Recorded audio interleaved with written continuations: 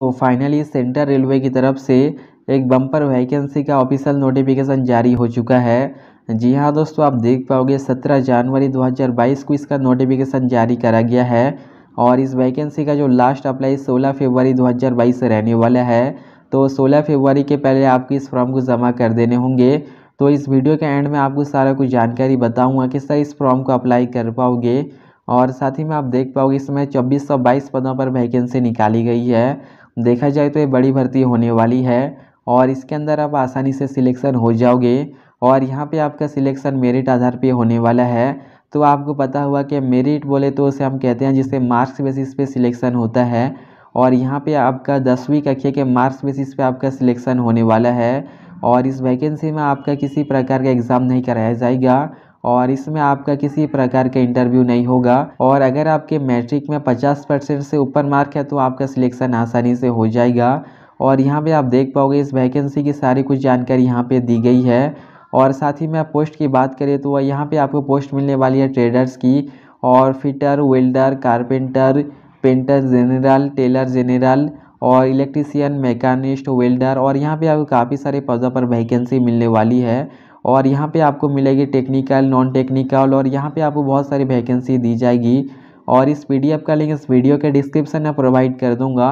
तो सिंपली वहाँ से आप डाउनलोड करके इस वैकेंसी के बारे में और भी ज़्यादा जानकारी ले पाओगे।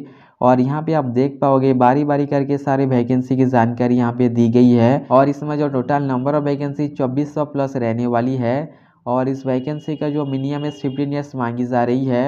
और इस वैकेंसी का जो मैक्सिमम इसे रखा गया ट्वेंटी फोर ईयर्स जी हाँ दोस्तों, इसका वैकेंसी का जो एज लिमिट पंद्रह से चौबीस ईयर्स रहने वाली है। और यहाँ पर जो रिज़र्व कैंडिडेट है, उनके लिए पाँच साल और तीन साल की एज सिलेक्शन भी मिलने वाली है। जी हाँ दोस्तों बहुत बड़ी भर्ती होने वाली है। तो मैं आपकी इस वीडियो में आपको सारी कुछ जानकारी आपको बताऊँगा। और यहाँ पे आप देख पाओगे एजुकेशन क्वालिफिकेशन केवल दसवीं पास मांगी जा रही है। अगर आप दसवीं पास हो तो इस वैकेंसी को अप्लाई कर पाओगे। लेकिन आपको दसवीं कक्षा में पचास परसेंट मार्क रहना अनिवार्य है। यानी आप जो मैट्रिक एग्ज़ाम दिए, उसमें आपका फिफ्टी परसेंट मार्क रहना अनिवार्य है। तभी आप इस वैकेंसी को अप्लाई कर पाओगे।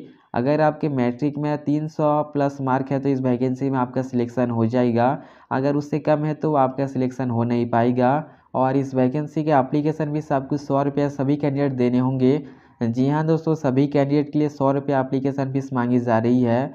पेमेंट आपको ऑनलाइन द्वारा करना होगा और यहाँ पे आप देख पाओगे पेमेंट की सारी कुछ यहाँ पे जानकारी बताई गई है। तो मैं इतना वीडियो लॉन्ग हो जाएगा तो इसलिए मैं आपको शॉर्ट शॉर्ट बताता जाता हूँ और इसका डिस्क्रिप्शन में इसका लिंक दे दूँ, वहाँ से आप डाउनलोड करके और भी ज़्यादा जानकारी ले पाओगे। और यहाँ पे आप देख पाओगे अप्लाई की सारी कुछ यहाँ पे जानकारी दी गई है और साथ ही में आप देख पाओगे इसका ऑफिशियल वेबसाइट भी मेंशन करा गया है। तो आप ऑफिशियल वेबसाइट में जाकर बहुत ज़्यादा जानकारी ले पाओगे।